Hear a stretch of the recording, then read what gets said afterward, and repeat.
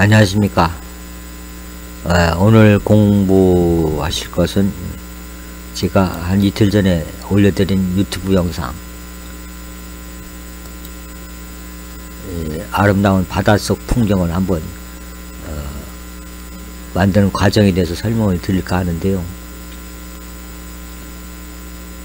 저는 이 영상을 아주 쉽고 아주 빠른 시간 안에 만들었습니다. 한나절밖에 걸리지 않았는데 보통 트윈모션으로 일반적인 작업을 하려면 인테리어나 그 밖에 규모가 비교적 그 크고 잡다한 풍경을 만들려면은 이틀 3일이 걸리는데 이런 영상 같으면은 한 1시간 걸렸을까? 그거밖에 안 걸렸습니다. 아, 흔히 하는 말로 그냥 손 안 대고 코 풀었다고 할까? 큰 힘 들이지 않고 만든 거니까요. 아, 배우는 여러분들한테 큰 부담이 안 될 겁니다. 잘 들어보시고 한번 따라해 보십시오. 그렇게 쉬우다고 이렇게 말씀드렸지만 실상 어, 프로그램을 어, 들추다 보면은 그 과정이 쉽지는 않습니다. 그런 만큼 또 자주 드나들어야 또 익숙해질 테니까요. 틴모션을 열었습니다. 요 장면은 필요가 없으니까 요거는 이제 다른 작업을 할때 중심점을 이용하라고 만들어 놓은 것인데 바닷속에서는 필요가 없죠. 그래서 잠그던가 아예 델리트로 삭제를 해도 무방합니다. 그리고 이제 이 강이나 그 바다를 만들어주는 방법은 두 가지가 있습니다. 하나는 라이브러리에서 머티리얼을 찍고 이 밑으로 내려가면 물이라고 있습니다. 물. 이걸 열고서 그냥 끌어다만 놓으면 바로 이제 그 바다라는 장면이 만들어지는데 오늘 만드는 영상에서는 이 기능이 아니라 이 기능은 달리 뭐 인테리어 할 때 이렇게 강이나 시냇물 만들어 준 데는 편리할지 몰라도 이게 자체가 그 모델이 아니라 그 도배지나 그 바닥재 같은 material입니다. material 재질이라고 하죠. 재질이라 입체감이 없어 가지고 물 모양은 나는데 강 모양은 나는데 실제 강은 아닙니다. 그냥 벽지를 입혔다는 정도로 이해를 하시고 다른 기능을 이용합니다. 여기 ambience를 찍고 ambience를 찍어주면은 속성창이 열리는데 이 환경이란 아이콘이 활성화되어 있죠. 이 상태에서 이 밑으로 내려가 보면은 ocean이라고 있습니다. ocean. 바다라는 뜻이죠. ocean에서 그 사용에 체크를 해줍니다. 체크. 현재는 일반 평지기 때문에 체크가 풀려있는데 이걸 찍어주면 이 오션 기능을 사용했다, 사용하겠다는 그런 뜻이니까 이 체크를 해주고 이건 임시 닫습니다. 그러면 클릭 한 번에 이렇게 바다가 만들어졌습니다. 이 상태에서 키보드에 있는 그 E 키 A, B, C, D, E라는 그 알파벳의 E 이 키를 눌러서 이렇게 위로 치켜 올립니다. 그러면 바닷속 풍경이 이렇게 금방 만들어졌습니다. 코가 또 맹맹합니다. 오늘 뭐 눈이 왔는데 눈이 더 올라오고 하는지 코가 맹맹하네요.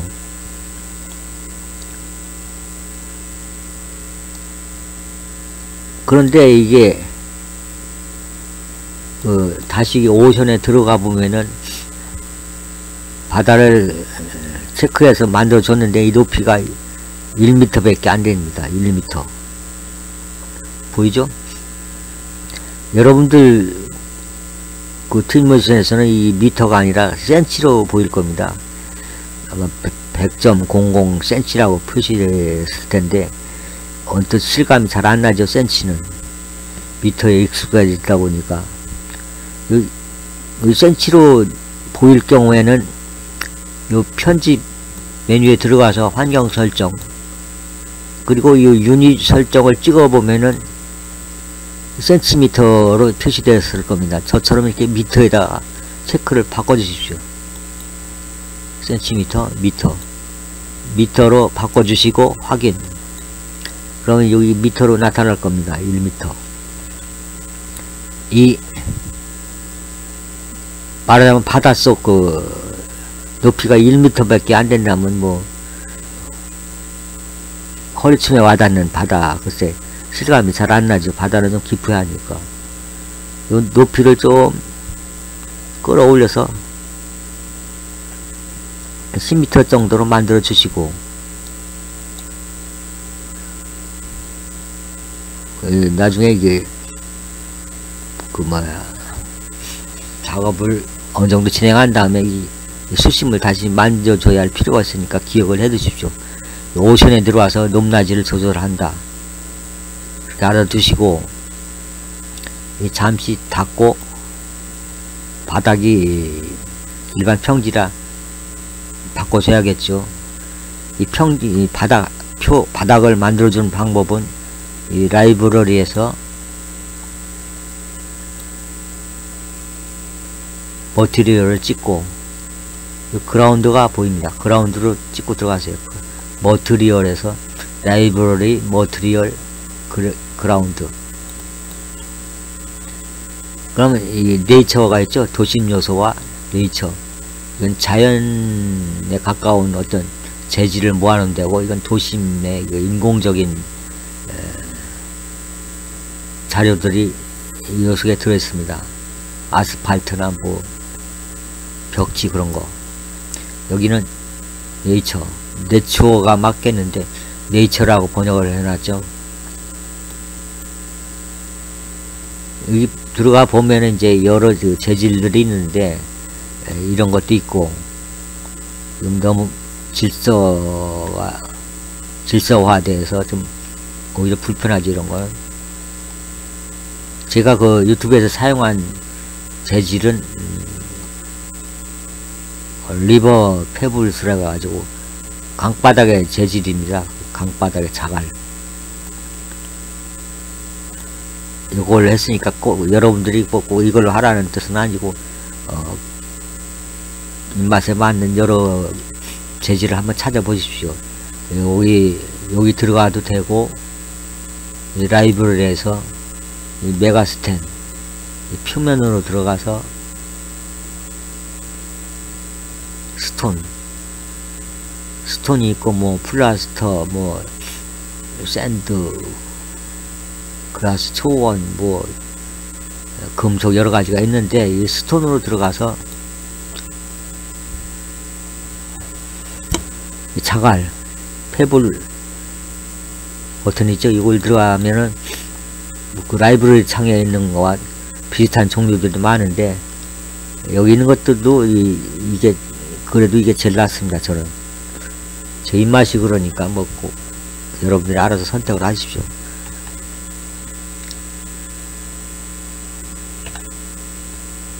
그리고 이 트윈모션을 작업할 때 기본적으로 그 Q나 E, A, D, W, S 그 기본 버튼 활용만 보면 잘 아시겠죠? 그걸 모르면 아무 작업이 안 됩니다. 그 W나 E 키를 이용해서 이리저리 방향을 수시로 바꿔가면서 이렇게 결과를 확인하기 때문에 그 익숙해질 때까지 기본 연습을 많이 하시, 하셔야 됩니다. 잠시 닫고 바다와 바다 속 풍경이 만들어졌으면은 여기서 속성창을 불러내 가지고 이리저리 확인을 해 보십시오. 화면이 어떻게 달라지나 뭐 회전은 어떻고 이 스케일은 또 무슨 장치인지 이렇게 해보 직접 해보시면 알겠죠 이렇게. 바다니까 좀 돌도 크고 그래야 더 실감이 날 겁니다. 이 스케일을 좀 키워주시고. 그리고 이 반사광이 이 물결의 그 반사광이 너무 환해서 그 어두운, 부분, 어두운 부분과 밝은 부분이 좀 삼각처럼 보여서 오히려 불편합니다. 바닷속이라면 당연히 어두울 것이기 때문에 이 광도를 좀 줄여줘야겠죠. 그 광도라고 하나 뭐 하여튼 그 밝기를 좀 줄여줘야 더 자연스러웠기 때문에 예, 앰비언스를 찍고 환경창에서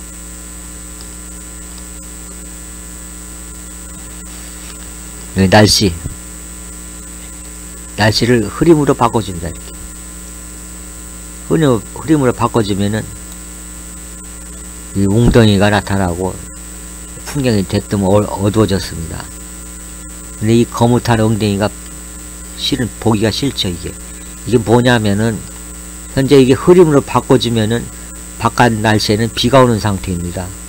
그래서 비가 오다 보면은 물웅덩이가 자연 생기는 거니까 그 흐림으로 만들어졌더니 바다 속에까지 이렇게 웅덩이가 생기는 겁니다 그러니까 이, 이런 경우는 이제 이 날씨 시, 세부 사항을 찍고 이 밑으로 내려와서 이 표면 이펙트라고 있습니다. 이게 체크가 돼서 이렇게 거뭇하게 보이는 거거든요. 이 체크를 풀어주면은 웅덩이가 사라집니다. 그렇죠? 체크하면 웅덩이가 생기고 사라지고 웅덩이가 필요 없으니까 체크를 풀어주고 강수도 사용할 필요가 없으니까 풀어주고 그래도 이제 이, 강바닥이 너무 밝, 밝다 싶으면은 이제 이 노출 키를 노출 슬라이드를 이용해서 이리저리 확인을 해 봅니다. 이렇게 움직여서 적당히 어둑하게 만들어줘야 더 자연스러우니까 너무 밝은 거를 피해서 이렇게 적당히 어둡게 만들어 주면은 나중에 렌더링 했을 때는 화면이 깨끗합니다.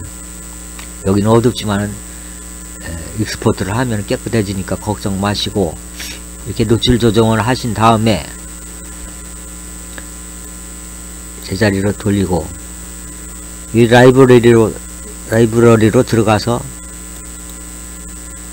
식생을 눌러줍니다. 식생. 그럼 여기 바위가 있어요. 바위. 바위를 배치를 해줘야 더 자연스럽겠죠.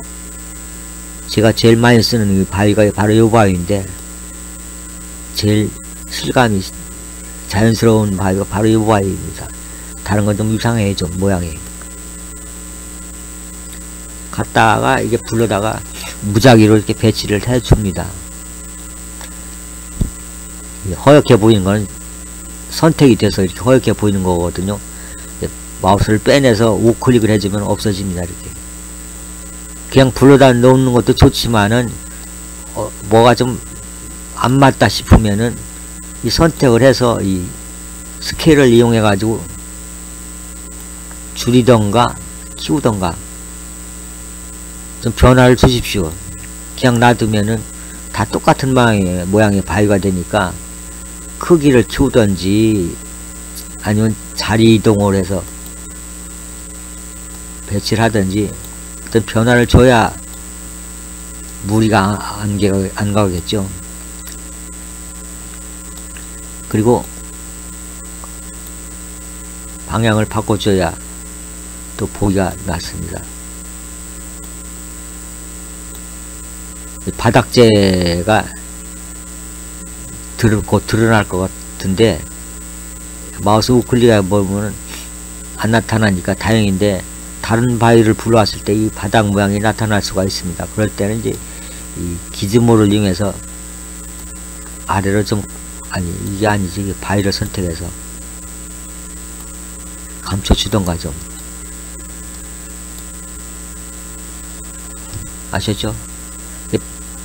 바위를 불러다가 키우면은 바위가 되지만은 또 줄이면은 큰 돌이 되는 겁니다. 큰 바위에서 스케일을 줄이면은 좀 중간 크기의 돌이 되는 거죠 이게. 돌.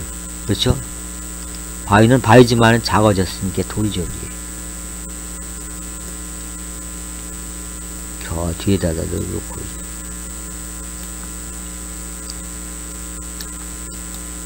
이 바위는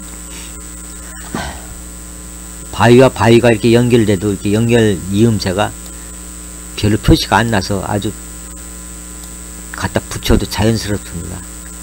실제 바위는 이게 더 실감이 나겠죠. 이렇게 바닥에 약간 떠 있고 기암 기암이라고 하죠. 기암 절벽 기암 이게 더 자연스럽습니다. 이게 출렁이는 건 바닷속이니까 저절로 이렇게 저절로 출렁거리는 거고 어, 인위적으로 이렇게 효과를 안 줘도 자, 저절로 흔들리니까 오히려 보기가 낫습니다. 잠시 닫고 이 물결 모양이 사라졌네요. 다시 들어가서 앰비언스를 찍고 오션으로 들어갑니다. 오션으로 들어가서 이 높이 슬라이드를 좀 움직여 보면은 이 반사광이라고 할까? 출렁이는 모습들이 이렇게 표현이 됩니다 이렇게. 그렇죠? 현재 수심은 8m니까 너무 얕은 축에 들어가니까 조금 키우고.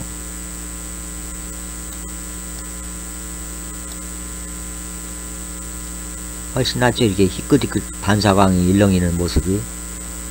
이런 식으로 바위를 적당한 위치에 이렇게 배치를 하시고 다음에는 고기 물고기를 불러옵니다 그 물고기는 뭐 외부에서 그런 자료가 있다면 불러와도 좋지만은 찾기가 힘이 드니까 이 라이브러리에 있는 객체를 불러다 쓸 수가 있습니다. 라이브러리에 라이브러리에 이 캐릭터 여기 동물이 보이죠? 동물을 찍고 이 밑에 관상어가 있습니다. 이렇게 너무 작아서 안 보이죠? 자료는 이렇게 불러다가 스케일로다가 키울 수가 있습니다. 이렇게.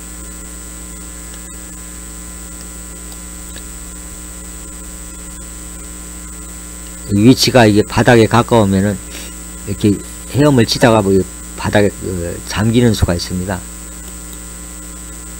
잠기는 수가 있으니까 그런 경우는 이거거든요 불러온 게 방금 불러온 게 완다라고 파일 이름이 기재되어 있죠. 완다가 바로 이 물고기입니다. 완다라고 써있죠. 완다. 이 이동 장치를 이용해서 이 바닥에 잠겼을 경우에는 잠깐 올려줘야 합니다. 올려주고 한 번으로는 부족하니까 여러 차례 이렇게 불러다가 임의로 이렇게 배치를 하십시오. 이렇게 잠기는 이 잠기나 좀 약간 이렇게 이거 역시 지켜오고 이것도 역시 크기 버튼을 이용해서 좀 키우던가 해야만 이게 먼저 불러온 고기하고 움직이는 방향이 달라져서 보기가 더 낫습니다. 이걸 안 해주면은 계속 불어오는 고기마다 다 같은 방향으로 똑같이 움직이게 되니까 단조로워 가지고 좀 보기가 싫죠. 그러니까 이, 이 기즈모를 이용해서 크기를 키운다든지 아니면 이 이동 기즈모로 방향을 좀 바꿔준다든지 해서 움직이는 모습이 다르, 다르게끔 무슨 뜻인지 아시죠 이게 이렇게 변화를 줍니다. 모자라면 다시 불러다가 또 놓고 뭐 원하는 만큼 불러다 쓰십시오. 돈 안 받으니까.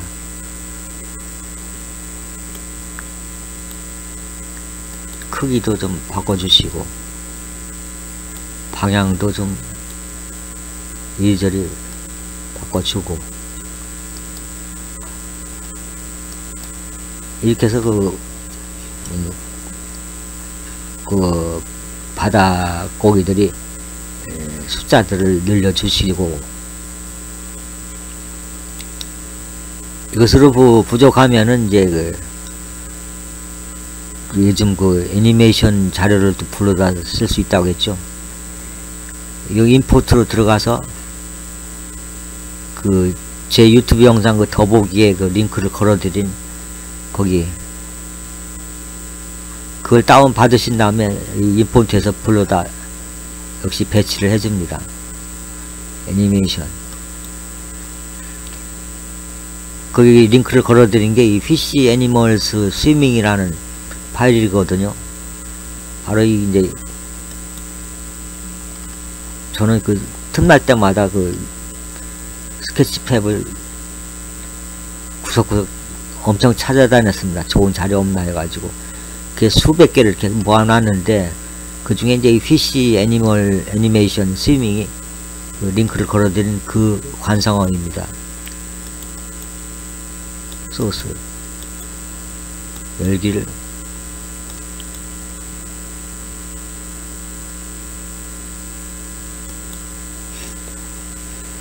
선택을 해보면은 현재 여기 들어와 있죠? 이게 잘 안 보이네요 그런데. 들어왔는데 안 보입니다. 왜냐면 위로 솟구쳐 있어요. 그래서 이 물 바깥으로 나가 보면은 큐 버튼을 눌러 가지고 바깥으로 나가 봅니다. 그러면은 위에서 놀죠? 그럼 위치 설정이 잘못됐다는 얘기죠 이제 다시 이 키를 눌러서 바닷속으로 들어온 다음에 좀 낮춰줘야 이제 낮춰줘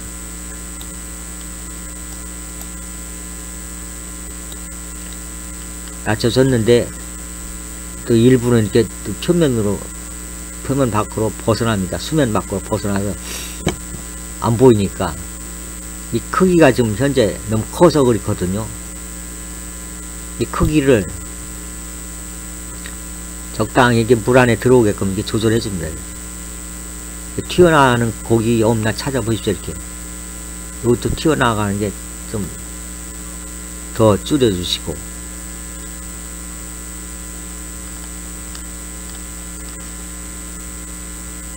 그런 다음에 이제 이, 이 키나 Q 키를 이용해서 화면을 이렇게 바로 잡고.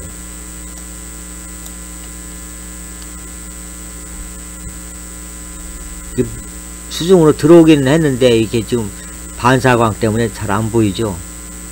요거를 이제 그 마우스를 이용해 가지고 이리저리 잘 보이는 곳으로 불러내야 합니다. 이게 바닥에 갇힌 것 같아요. 바닥에 잠긴 것 같아요.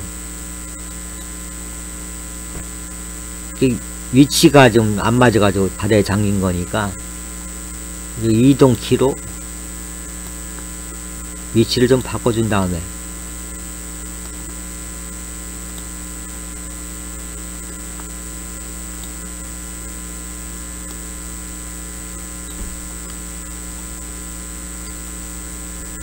이렇게 잡아주면은 다행히 물 바깥으로 안 벗어나고 이렇게 잘 보입니다. 이 카메라 위치가 위쪽으로 향해 가지고 오히려 또 움직이는 장면들이 실감이 나게 됩니다. 그러니까 이, 이 트윈 모션 기본기를 배우실 적에 이 키보드에서 여섯 자리 방향키가 있지 않습니까? Q, E, A, D, W, S 이 여섯 키를 이용해 가지고 수시로 이렇게 방향을 바꿔가면서 화면을 체크해야 됩니다. 그냥은 화면이 홀라당 뒤집힐 수가 있고 잘못 누르면 그러니까 그 여섯 가지 그 키 그거는 실수 없이 잘 사용해 보십시오. 그 자주 이렇게 연습을 해야 이제 익숙해져 가지고 바로바로 실행을 하는데 이거 안 해본 사람은 이 키보드 위치도 몰라 가지고 작업이 불가능하거든요. 이렇게 한 번으로 부족하면은 다시 불러다 역시 아까처럼 적당한 위치에 배치를 해 놓습니다. 배치를 하되 이동키와 그 스케일 키를 이용해 가지고 변화를 줘야 한다는 거그 염두에 두십시오. 대충 이렇게 해서 어, 마, 만들어졌으면은 그 다음에는 수중 식물 수초라고 하나 그 수초들을 이제 군데군데 심어줘야 더 효과가 더 나겠죠. 이게 한 마리 또 바깥으로 튀어나가네요. 키보드를 좀 바꿔줘 가면은 안 보일 겁니다.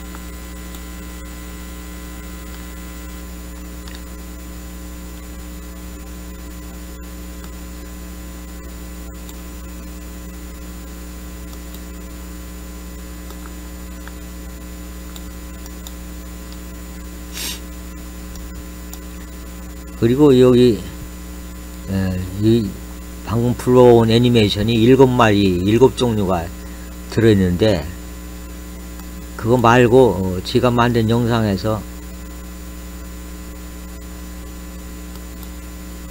아주 예쁜 고기 한 마리가 있습니다.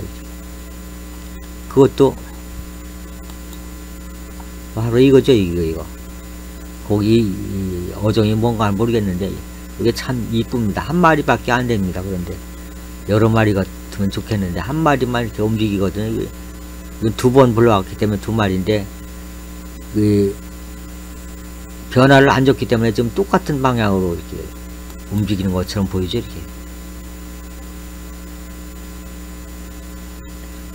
요 물고기는 이 더보기에서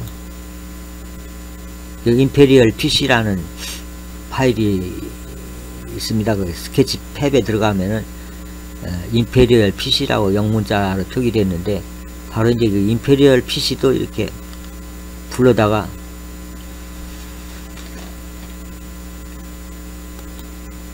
여기다 배치를 해 주십시오 이렇게 여러 마리가 뛰어놀게 해주는데 이제 위치를 바꿔준다는 거 잊지 마시고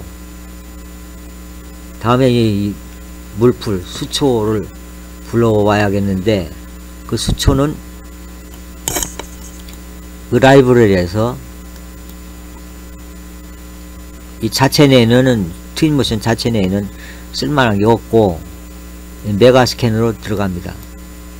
메가 스캔으로 들어가서 3D 식생이라고 있어요. 3D 식생, 3D 에셋, 표면, 데칼 여러 분야가 있는데 이 3D 에셋은 그야말로 이제 3D 모델이고 이 3D 식생은 같은 모델이지만 이제 식물류, 식자재만 모아놨습니다. 여기 들어가면 이제 그 꽃도 있고 뭐 여러 가지 잔디라든지 잡초라든지 꽃 종류가 여러 가지 많습니다. 트윈모션 자체에 내장된 객체들보다는 더 다양하게 많은데 필요하시면 여기 들어가서 수초를 차, 찾으면 몇 개 있습니다. 여기 수초 수초는 영어로 underwater plant라고 하더라고요. 구글 번역에서 그 수중식물 쳐보니까 underwater plant라고 나오니까 그 제가 그 써먹는 겁니다. 영어로 underwater. underwater plant. 그야말로 그 수, 수, 물, 표, 물 지하의 플랜트 수중식물이죠 이게. 그런 다음에 엔터를 칩니다. 검색어를 치워주고 엔터. 그러면 619가지 요소들이 나타납니다. 그냥 찍어다가 임의로 이렇게 배치를 하십시오. 너무 작아서 안 보이죠? 이것도 역시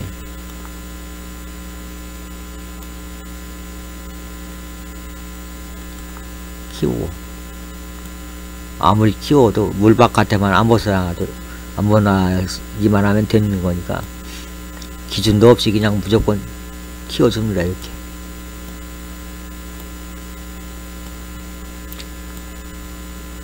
이런 식으로 이제 그 어, 수초들을 적당히 배치를 하시, 하시고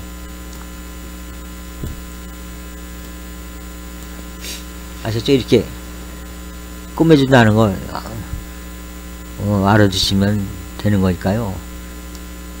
바로 이게 세 가지 작업을 크게 나눠서 세 가지 작업으로 이렇게 하나의 영상이 만들어진 겁니다. 밭다를 만들고 바위를 불러오고 물고기와 이 수초들을 적당히 예, 좋은 위치에다 이렇게 배치를 해서 하나의 풍경을 만들어 준다는 얘기죠 이게. 수초가 많이 깔려 있어야 하니까요. 뭐 100번이든 10번이든 그냥 무조건 끌어다 놓으십시오. 그거 가지고 이- 이 메모리가 부하를 받지는 않으니까 그 정도 가지고는 그 컴퓨터 성능 걱정하지 마시고 이 바위나 물고기나 수초들을 다양하게 이렇게 배치를 하신 다음에 그다음에 이제 이 녹화를 해야 아니 녹화가 아니라 참 렌더링을 해야 그 작업이 끝나는 거겠죠. 렌더링 과정은 그 미디어로 들어가서 이 첫 번째 단추는 이제 이 이미지를 만들 때 써먹는 거고 이두 번째 이게 비디오를 만들 때 쓰는 장치입니다. 찍어서 플러스를 누른 다음에 눌러주면 이게 첫 화면이라고 이렇게 첫 화면이 한 첫 커트가 이렇게 에, 입력이 됩니다. 그런 다음에 한 두 개든지 하나든지 더 찍어 주시고 여기를 선택 첫 화면은 그냥 놔두시고 첫 화면을 어, 어디에서 시작할 건지 그건 알아서 이제 나중에 조절하면 되니까요. 이두 번째 화면에 변화를 줍니다. 두 번째 화면에 이걸 좀 돌아가게 만든다든지 방향을 좀 위로 치켜 올린다든지 위에서 내려다 보는 장면으로 만들든지 그건 뭐 여러분들이 알아서 선택을 하면 됩니다.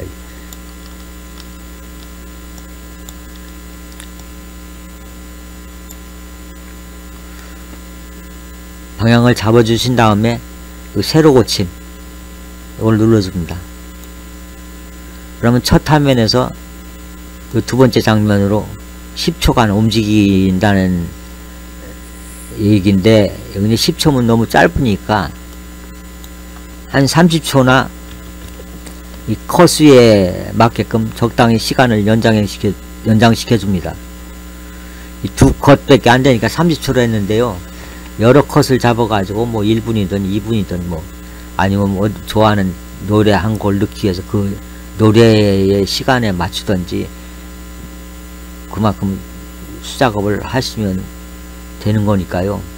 저는 샘플로다가 이두 장면만 하는 거니까 꼭 이게 원칙은 아니라는 말씀을 드립니다. 여러분 뜻대로 여러 장면, 여러 컷을 연결시키십시오. 돌리든지 아니면 좌우로 이동을 해주든지 위아래를 바꿔준다든지 각도에 따라서 시각적 효과가 다르니까요. 뭐 이렇게 클로즈업을 시킨다든지 이 작업을 하는 동안은 이 애니메이션이 움직이지 않는데 렌더링을 하면은 다 그 영상 속에서는 잘 움직입니다. 그러니까 그 걱정하지 마시고 이 원하는 각도에서 이렇게 각을 잡은 다음에 프레임을 만들어 주십시오. 그러신 다음에 저장해야겠죠. 저장하는 건 뭐 다 하실 테니까 저장을 하시고 이 익스포트로 넘어가서 영상을 뽑을 궁리를 해야죠. 익스포트로 들어갑니다.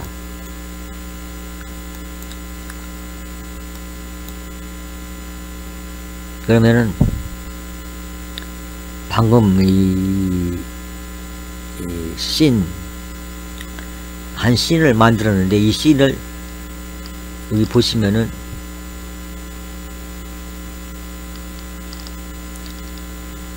export가 아니라 이 미디어 상태에서 아니 미디어 상태가 아니라 export export 상태에서 보면 비디오가 보이죠? 이 비디오에 플러스 장치가 있습니다. 이걸 찍으면은 방금 만든 이 scene이 여기 보일 겁니다. 이거 선택을 해 주시고 해제하려면 컷이 여러 개면은 비디오 1, 비디오 2, 비디오 3 이렇게 여러 개 만들 수도 있으니까 한꺼번에 다 렌더링 하려면 다 선택, 전체 선택을 해서 다 선택을 해주시고 필요한 것만 선택을 해서 하나니까 그냥 전체 전체 선택 선택을 해주고 화면이 감춰지면 export를 눌러줍니다. export에서 밑에 보면 export 시작 있죠. 이 시작을 눌러주고 어디에 저장할 것인가 폴더를 선택한 다음에 export가 시작됩니다.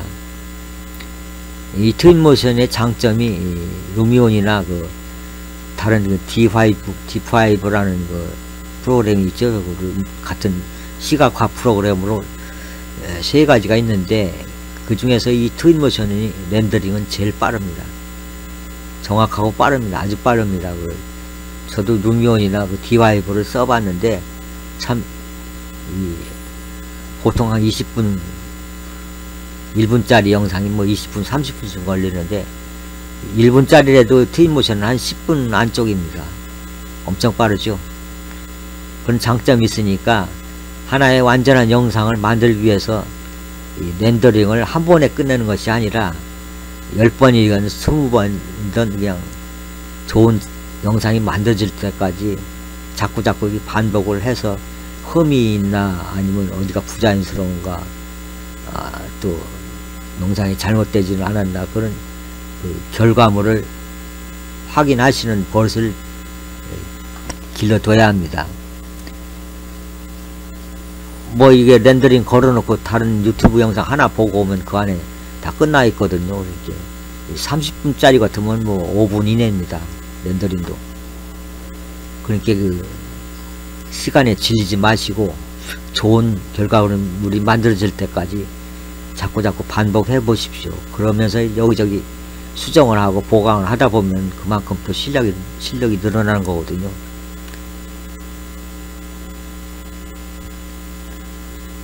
그래서 이제 영상이 이제 만들어졌을 테니까 제가 드릴 말씀을 다 드렸는데 두서없이 짓거려 가지고 제대로 다 전달이 됐나 모르겠습니다. 37분 걸렸는데 30분 안쪽이면 좋았을 텐데 좀 장황하게 또 오늘도 장황하게 짓거렸습니다. 그냥 좋게 생각해 주시고 도움이 되기를 바라, 바라겠습니다.